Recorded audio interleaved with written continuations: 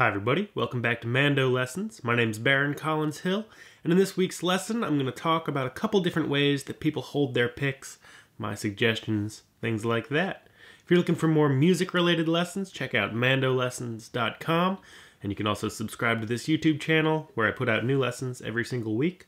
All the lessons are always free. That said, there's a couple ways to donate, which is always appreciated, but not required. Let's jump right into it and take a look at a couple ways to hold the pick. So the general way that I teach to hold the pick in my beginners series is to have a nice loose closed fist. Uh, you know, you're not making a, a tight fist and your hand isn't out flat. And what you're going to do is take that loose fist, drop the pick into your hand uh, with the point headed off to the left, assuming you're right-handed.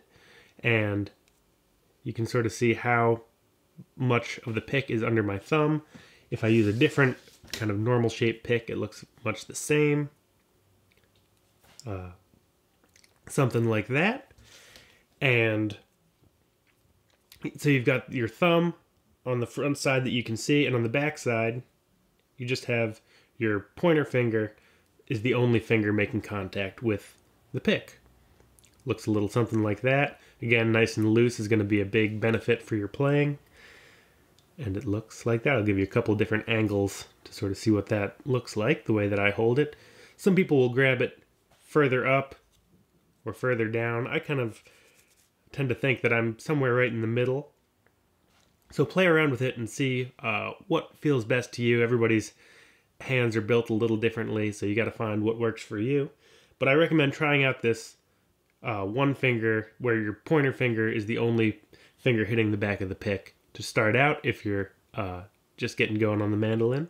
That said, there is what's called a two finger or a three finger, depending on how you count, hold, where you're using two fingers on the back of the pick, your pointer finger on sort of the left edge if you're looking down at your hand, and your ring finger, middle finger, sorry, on the right side of your pick. This is very over exaggerated, but you've got your thumb on the back, two fingers on that side. And some people find they get a little more control that way. I find it puts more tension into my hand, so I don't use this pick grip but that's something it's not an uncommon pick grip uh, so i'm not going to say don't do it. Just make sure you're nice and relaxed. If you do gravitate towards this grip again it can go up it can go down. Your fingers can be closer together or further apart and just find what works for you. Again if you're using a different size pick or shape pick looks a little something like that. Give you a couple different angles. And then as we pick up the instrument, those two grips are going to look like this. So the, the one finger on the back grip, a little something like this.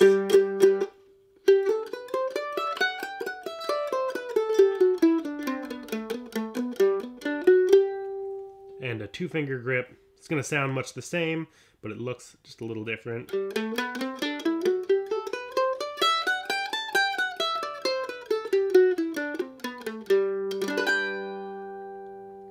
Same thing with a different size and shape pick.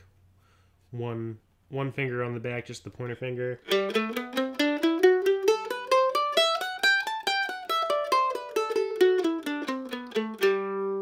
And the two finger grip.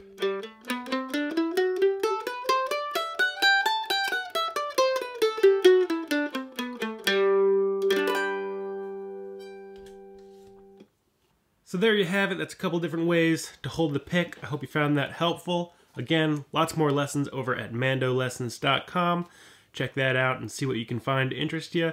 Again, the biggest thing is going to be staying nice and relaxed and not gripping the pick too hard, or that's going to lead to a more kind of tension-filled playing experience. And when you've got tension in your your body, it's going to come out through the music and not sound as smooth as you'd like it to.